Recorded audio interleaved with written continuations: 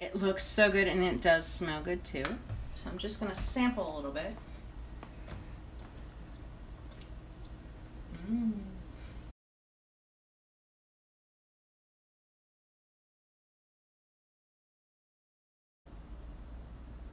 Hi, it's Dot from dot2trot.com and today I'm making a uh, mustard barbecue sauce. I'm making a pulled pork. It is in the oven right now as we as I chat with you. Um, and so I wanted to make a mustard, uh, barbecue mustard sauce that really goes really well with the pork. The problem I find with barbecue in general and mustard, or not mustard, but sauces to go on barbecues is the amount of sugar that they have in them.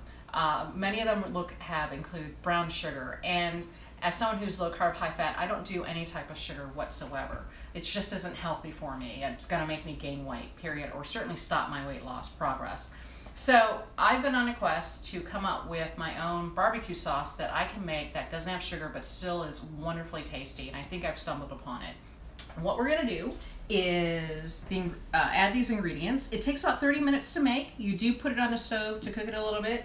Uh, so some ingredients go in at right off the bat and others come in a little bit later. Uh, you use about a cup of straightforward yellow mustard. Uh, you're going to use three quarters of a cup of um, apple cider vinegar. I use uh, two tablespoons of butter. I use um, half a teaspoon of coconut aminos, and this is sort of uh, my replacement for soy sauce oh, excuse me, I'm being corrected, amino acids. I always make that mistake for some reason.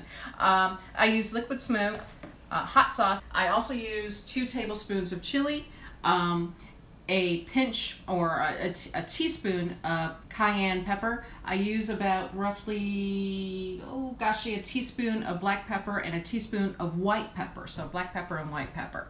Uh, what, oh, this is my ingredient. This is just for me, so, you know, hey, hey it's been a long day, so. But anyway, I'm going to go ahead and start. And so the first things you want to add, and I'm adding it straight to the pot because I'm going to be cooking it on a low heat in this pot, is I'm going to add the mustard. And this is the most important ingredient. It's just a yellow mustard I use. Uh, no need to be fancy with Grey Poupon or any other mustard that they have on the market. Just straightforward yellow mustard. Okay, that's in there. And then the apple cider vinegar. Just pour that all in. And then all of my spices are gonna go in at this time too for the flavoring. And then I'm gonna add, all that in there, I'm gonna start swirling it around. A teaspoon, as much as I love Frank's, I find a teaspoon works the best because I do have cayenne pepper and chili in here, so it's spicy enough. You don't want it to be so hot that you burn your eyeballs out. so, whoops. But here we go. We're going to start splashing it around, I guess, on my little counter. But you just start mixing it together. You want the flavors to blend. And what you're going to do is you're going to, I put this on a stove on, on um, a lowish heat, essentially. You don't want it to boil at all whatsoever. You stir on occasion.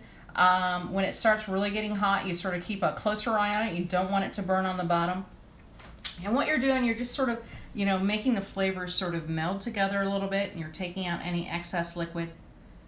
These ingredients that I have here, the butter, the uh, liquid smoke, and the um, coconut amino, uh, they go in later, about 15 minutes after it's on the stove.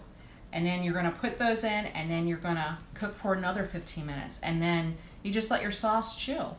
Um, you do want this to sort of have some time to sit in the fridge to let the um, flavors sort of meld together. I was I was like the flavors melting together. That's clear. Um, in order to do that, now the best way to do it is to make it the night before. I didn't get a chance to do that because I was making some sun-dried tomatoes.